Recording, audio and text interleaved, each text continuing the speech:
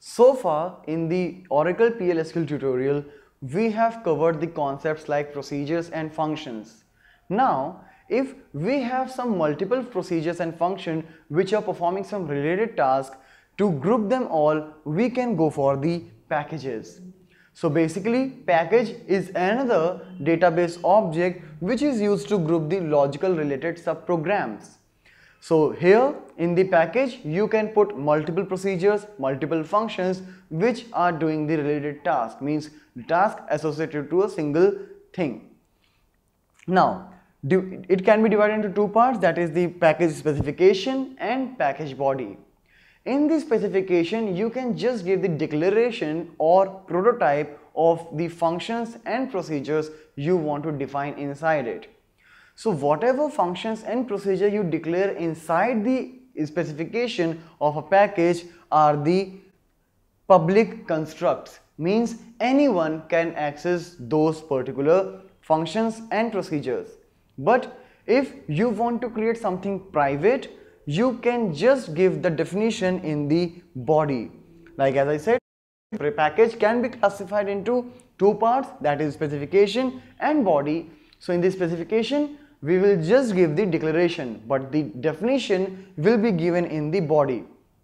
So in the body you must logically give the definition of all those constructs which are declared inside the specification. Along with that you can add the definition of some more functions and procedures if you want to make it private. When I say private, that means one cannot call that function or procedure unless you grant the access. So packages cannot be itself, itself cannot be invoked because packages are not performing anything. The functions and procedures inside them are doing something. So you can just call the uh, procedures and functions like we were already working with the dbms underscore output dot put underscore line for printing something so in this context, dbms underscore output is the package. By a dot separator, you can pass any function and or procedure name like put underscore line is the procedure which actually prints some message in the output.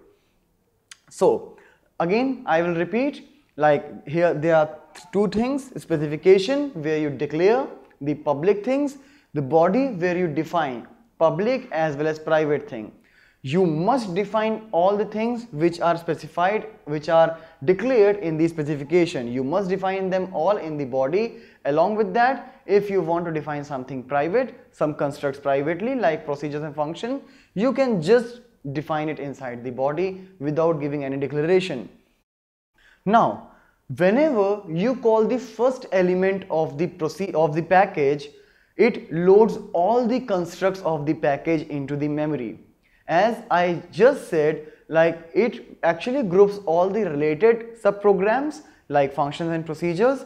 So as soon as you will call one package one procedure or function from the package all the constructs will be loaded because it is expected like you may call some other related task some other related procedure or function.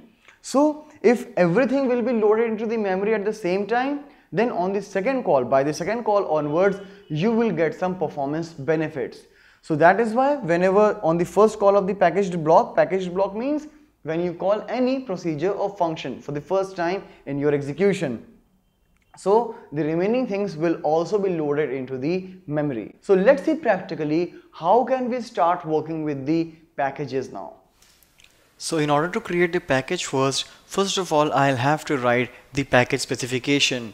So here as you can see I have created a package with create or replace keywords and package as again a database object with the name manage employees and inside this I have passed two procedures with the name add emp and edit emp with a couple of arguments.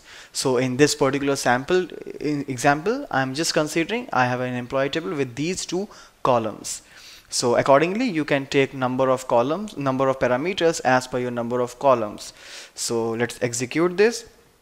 So you can see package created when it is saying package created that means the specification of the package is created. Now I can create a body for this particular package. So let's create a body of this particular package by writing create or replace package body alright as here it was specification but I don't have to write specification here.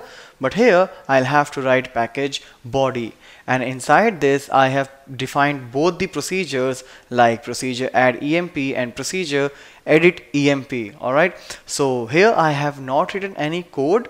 I've just printed a message. As soon as you will invoke any particular uh, procedure you will get the message. So let's create the body as well. Alright there is some error I guess. Let so for getting it I'll write show error. So it's saying it's an spelling mistake so I'll just rectify that. Alright here it's number. And again here it's number. Alright so let's save it close it and execute it. And you see package body created. So in this way First of all, we created the package specification and then we created the package body. So now in order to invoke that, since they are procedures, I'll have to write execute, then the name of your package that is manage employees and then name of the procedure or function. Since here I have used execute, so I will call the procedure here with the name add emp and I'll have to pass a couple of arguments that is the ID and the name. So you see there's a message employee added alright? As soon as you have invoked it the other procedures and function of the same uh, package will be there loaded in the memory so that next time when you will invoke any particular method you may get a better performance a benefit alright? So here now I'll say edit emp so you see employee updated all right? So here obviously you're not getting uh, the performance benefit information but yes when you are go through the performance testing and when you will trace your particular events whatever going on then you will definitely find the performance benefit when you are using multiple objects of the same package. So this is how you can start creating a basic Oracle database package along with the number of procedures or functions inside it